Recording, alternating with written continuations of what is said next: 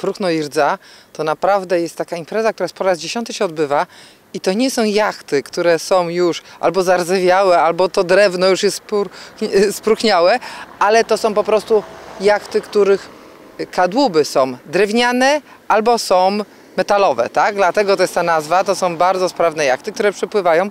Ponad 34 jednostki się zgłosiły. Będzie można w piątek i sobotę wejść na pokład tych jednostek. Bardzo ważne jest to, że te jednostki również wypłyną. W sobotę po wspólnym zdjęciu o 11 spotkamy się gdzieś tu, w tym miejscu, na, na miejscu basenu, w basenie jachtowym, żeby wszyscy zrobić sobie wspaniałe zdjęcie i następnie jednostki wypływają, pływają wzdłuż bulwaru w stronę Orłowa. Y, ma w tym, tej paradzie uczestniczyć i Zawisza Czarny i Iskra, czyli będą jeszcze dwie duże jednostki. Poza tymi, które przybywają, nie są to wielkie żaglowce, ale są to piękne, stare, bardzo zadbane, prywatne jednostki. Y, I w sobotę na koniec dnia odbędzie się otwarty koncert y, szantowy, również tutaj w basenie jachtowym. Chętnych zapraszamy. W tym roku zapisało nam się 34 jednostki, zapisały nam się na zlot w tej chwili, ale to nie wszystko.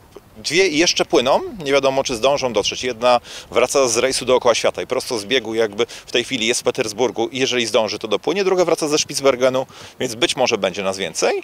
Do tego udział w sobotniej paradzie, czyli kulminacyjnym punkcie zlotu zapowiedziały także polskie żaglowce, więc zobaczymy Zawiszy Czarnego, zobaczymy flagowy żaglowiec miasta Gdańska, czyli generała Zaruskiego.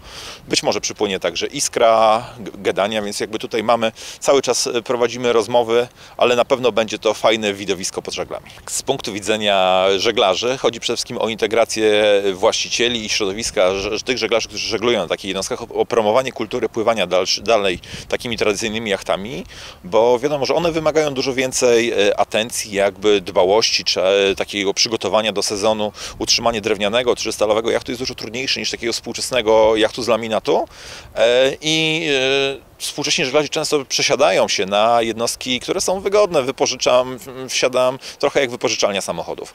Natomiast e, jachty klasyczne e, z jednej strony właśnie więcej, więcej zachodu, żeby to, te jachty mogły pływać, z drugiej strony dużo bardziej spartańskie, mniejszy komfort w środku, ale za to świetnie sprawdzają się właśnie po sezonie, w takiej trudniejszej aurze, w cięższych warunkach pogodowych i wtedy pokazują, właśnie od, od, odwdzięczają cały ten trud w ich przygotowanie i pokazują swoją klasę właśnie żeglując w warunkach takich na przykład około sztormowych.